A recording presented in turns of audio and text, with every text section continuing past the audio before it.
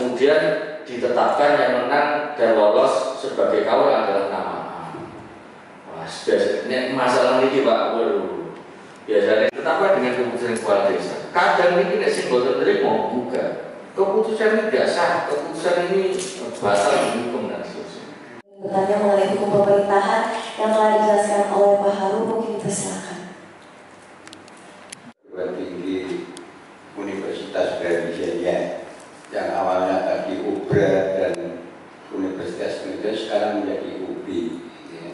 tadi panjang lebar. Cuma saya mohon Mas Heru Nyuwun Sewu ini kita panggil Mas Heru ya Nek memiliki Bapak ya kalau manggil Mas Mawon ya kesannya lebih muda ya.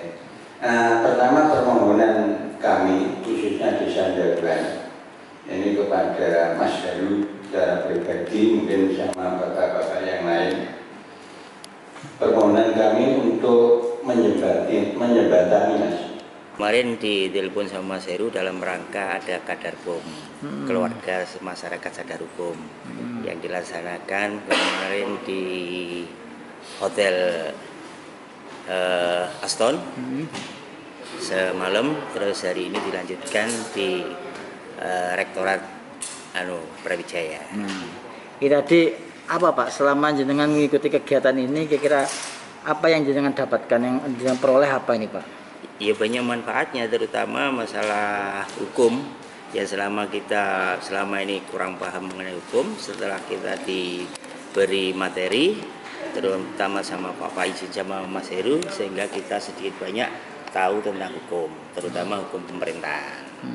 Nah ini yang diajak siapa aja nih Pak berapa banyak ini Pak? Kemarin yang diajak ada 22 orang Oke. dari Desa Dewan terutama dari kelembagaan Perangkat dari, ya? Iya, dari perangkat desa terus sama LPM ditambah Hmm. Pak RT RI. Oke. Pak harapannya setelah ini setelah ikut kegiatan Kadarkum ini ke depan seperti apa harapannya Pak? Ya harapan kami masalah kadar hukum ini tetap kita tindak lanjuti, Ti- tidak cuma berhenti sampai di sini. Jadi nanti setelah ini mungkin bisa kita laksanakan di desa kami. Jadi biar masyarakat itu mengerti dan sadar dan sadar betul mengenai hukum. Pak dengan tadi ada disampaikan materi tentang ilmu pemerintahan kira-kira menjalankan roda pemerintahan desa tidak lagi was-was gitu Pak ya sudah lebih tahu gitu Pak ya Siap. Ya Lam- jelas kita sudah tidak was-was lagi. Kemarin yang jelas eh, satu tahun yang lalu ada pengisian perangkap itu yang jelas memang alhamdulillah untuk kecamatan Jatikalen kondusif aman.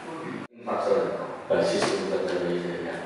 Nah basis ini kemudian menyalurkan menyalurkan eh, zakat ini kepada orang yang memenuhi asnaf.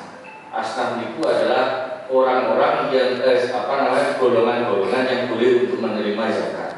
Salah pakai UKT ini atau SPP ini ini kusin bayar basis melalui dana zakat.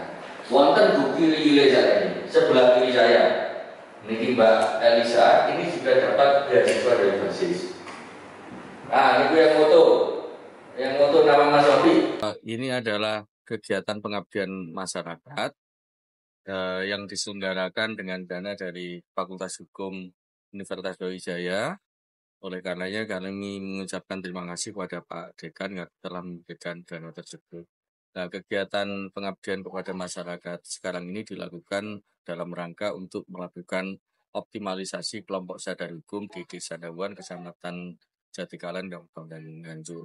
Harapannya nanti dengan eh, optimalnya kelompok sadar hukum Desa Dawan, Kecamatan Jatikalan, Kabupaten Nganjuk, permasalahan-permasalahan hukum yang terjadi di sana bisa selesai dengan baik.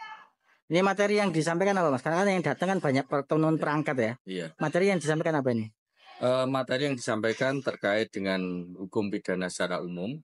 Jadi kita menjelaskan terkait dengan atau kita memberikan materi terkait dengan eh, pidana-pidana yang sering terjadi di masyarakat seperti eh, pencurian, penggelapan, termasuk kemudian pidana eh, terkait dengan sosial media itu kita jelaskan.